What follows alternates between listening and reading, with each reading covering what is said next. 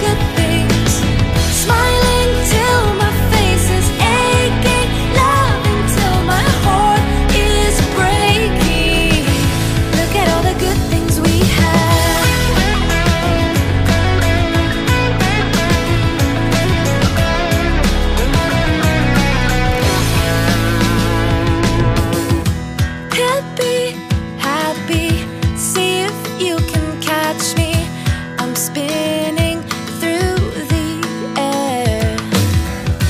Laughing. Ito, Boss Gilbert, sino naman to? Ito naman po yung Y8 namin, sir. Y8. Yes po. Ayan, ano specs ni Y8? Specs po ni Y8 is 1,000 watts. 1,000 watts. Then sa battery, 72 volts, 20 amperes po siya. May crown light na pala, Yes no? po, may crown light and then meron po siyang electric fan, Electric fan.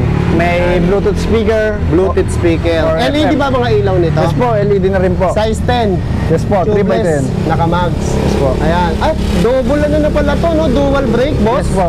Ayan, dual brake na. Dalawa yung baso, oh. Front and back, disc Ayan, brake tapos po. may panel, na maraming bulsa.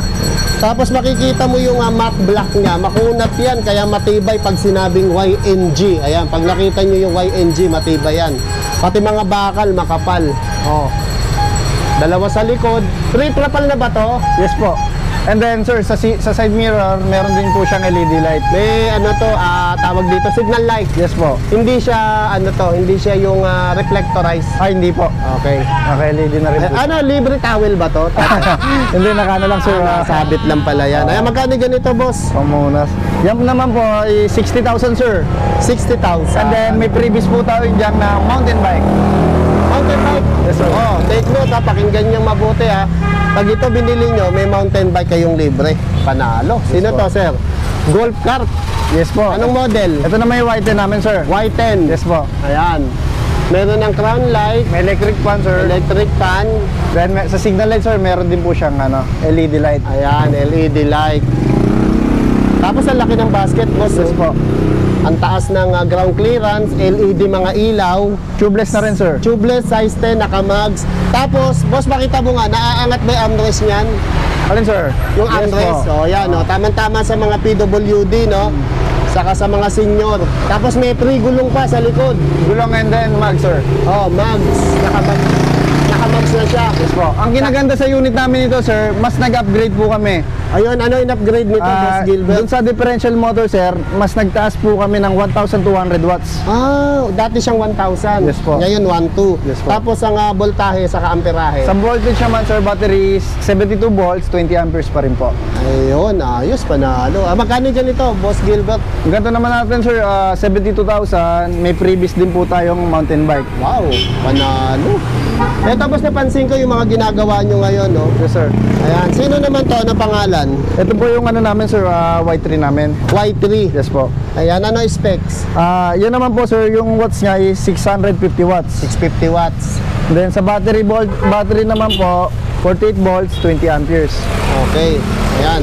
Ano to? oh? Ito yata yung uh, nata-transform, no? Yes Into po. 3 passengers. Yes po. Try po natin, sir, ha? Sige, Para sige. makita po Papakita natin. ni Boss Gilbert. Ano Ayun, napakan lang yon. Ayan, solo ka. Solo po.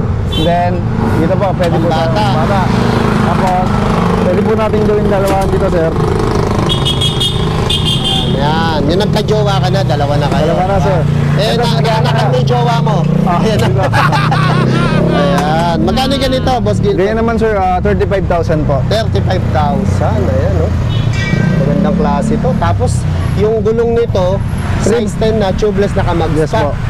650 watts, no? Yes po. Ayan, ganda, oh. Quality to. Ito, pareho lang yan. Yes po, sir. Same. Kulay black lang, ito, kulay red. Ayan, boss, balita ko, marami pa sa loob. Pwede ba natin bisitahin? Yes, sir. Pasok po tayo, sir. Ito, same lang to nung kanina. Yes po. Yung, Ibang kulay lang. Ah, saan po, sir? Yung kanina nasa labas. Ah, hindi po. Ay, mas, ba to? mas mataas po ito. Okay, si- anong ano pangalan nito? Ano yung specs nito, Boss Gilbert? Ah, itong watts na to, sir, yung differential niya is 850 watts na, sir. And then, sa battery naman po, 60 volts, 20 amperes. Ayan, size 10 din yung gulong. Yes po, 3x10 na rin, sir. Ayan, oh, may basket. Tapos free trapal na rin yan. Yes po, pre-tar pa. May basket pa sa likod.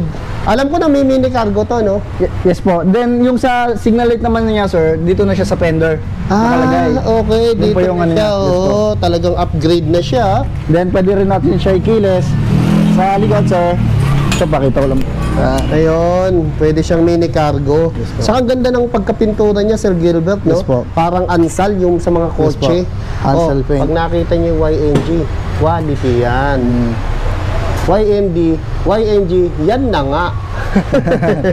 Ay, magkano ganito, Sir Gilbert? ah, yung namin, sir, ah, 45,000 po. 45,000. Ito, may mga ano sila rito ha. Yung mga, syempre, kanina pinakita natin yung 4,000 watts, 3,000 watts. Meron din sila rito na budgeted o yung mga gusto na hindi ganong mabilis kasi city driving lang. Yes po. Ayan, no, iba-ibang design yan. No? Sino to, sir? Ito pa rin yung H9 natin, sir. H9. Ah, yes po. Sige, sabihin na lang muna natin Isa watt, model. sir. Opo. Ito, sino to? Ito po yung riding speed namin, sir. Anong specs? 1,000 watts, sir. Ayan, ito. 1, 2,000 1,200 watts po. 1,200 watts. Ito. Yan, same po sila, sir. Ayan, same lang, ibang kulay. Ito namang white, sino to?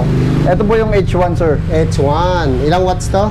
2,500 watts. 2.5. Ito, ito, ang ganda nito, parang NMAX, oh. Ah, ito naman, sir, ah, 1,200 watts din, sir. 1,200 watts. Ito, Yan, same po, ah, 2,500 watts, sir. 2,005. Oh, lulupit ng mga wattages Yeah, nito. yeah. Ito, same, nung Yes po. kulay red.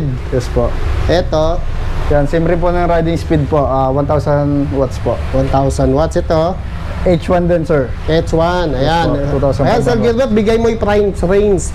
Ito, itong hanay na to, no, mga kagala, no, kung mamimili kayo, nasa FB page, ayan, kompleto yung mga details nito, specs, at sasabihin ni Sir Gilbert ang presyo nito, price start, ayan. Hmm. Sir, magkano start, ah, magkano start eh, no? Magkano presyo ng mga hanay na to? Ang ang starting price po niya is 30,000 to 50,000, sir. Ayan, 30,000 to 50,000, no? Kaya, ayan, bisitahin nyo kanilang FB page. Ayan, makakapamili kayo, no? Pang estudyante, pang eskwela, ayan, pang ah, city driving, Yes pang probinsya, from from anong spec, ah, from, ah, from anong wattages tayo dito? Ah, from 1,000 watts to 2,500 watts tayo dito, sir. Ayan. At ah, umaabot na rin kayo ng 4,000 watts yung nasa labas. Yes, sir. Ayos, panalo. E tapos yung mga two wheels, two wheels mo dito sa kabilang linya. Ayan, iba't ibang two wheels. sa price start at ano to, boss? Ah, from 12,000 sir to 18,000. Ayan. 12,000 to 18,000. Ayan, kaya bisitahin nyo na every page nila. Mga two wheels, ayan, pang estudyante, pang eskwela, pang palengke. Kaya bisita na kayo sa YNG Tondo. Para makabili na kayo ng e-bike dahil napakamahal ng gasolina ngayon, malaki matitipid nyo rito. Ayan, ah, boss, totoo ba na 6 to 8 ah, charging time is ah, 10 to 15 pesos lang? Yes po, ang cost charging nito sir, ah, for example, dito tayo sa 18,000 namin sir. Ito kasi sir, ah, 48 volts, 20 amperes. So, ang cost charging ito, maabot lang siya ng 15 to 18 pesos. Ayun, sa isang ah, charging ng Yes po, ng one full charge. Full charge yun. Yes po. Pero gano'n naman itatakbo nun? Ilang kilometers? Umaabot po siya ng 35 to 40 kilometers Oh, per hour. 35 to 40, ibig sabihin parang parang Manila to Malolos, Bulacan o Manila, Bulacan na siya o Pwede, may, Cavite. may kawayan sir, o kaya. may kaya. gawayan, kaya. Ayan. Makabalik pa tayo. So, ibig sabihin, kung ginagamit nyo lang sa Maynila, city driving, baka abutin ng 4 days to 5 days bago Pwede mag-lobat. sir, pwede po. Ayos, panalo. Para ka palang nag-ipon ng pera dito pag bumili ka e-bike.